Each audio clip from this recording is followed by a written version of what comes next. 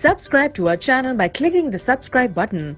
Click the bell button and enjoy the latest uploads from our channel. Question number seven. Give one example each of the following chemical reactions. हमें ये सब changes का इन सब characteristics का एक एक example दें सो so, एक ऐसा रिएक्शन जिसमें कलर चेंज हुआ है उसका example that is C U S O four और एफ़ मतलब कॉपर सल्फेट और आयरन जब रिएक्ट करते हैं तो एफ़ ई फोर और कॉपर बनाते हैं।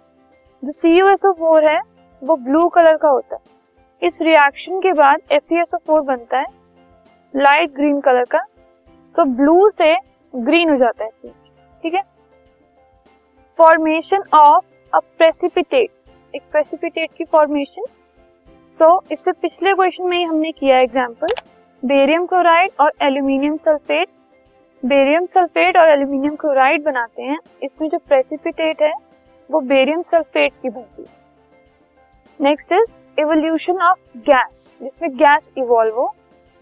तो सल्फ्यूरिक एसिड और आयरन फेरस सल्फेट और हाइड्रोजन गैस इवॉल्व करते हैं। तो एवोल्यूशन ऑफ़ गैस मतलब इसमें हाइड्रोजन गैस इवॉल्व हो रही change in state state change हो जिसमें so F four plus water give F two O three SO two and SO three अब एफ़ फोर इज़ सॉलिड इससे gaseous state and liquid state change हो गई now next is change in temperature so जब calcium oxide और water react करते हैं that is quick lime और water जब रिएक्ट करते हैं कैल्शियम हाइड्रोक्साइड और हीट इवॉल्व होती है। इससे क्या हो रहा है? टेम्परेचर चेंज हो रहा है।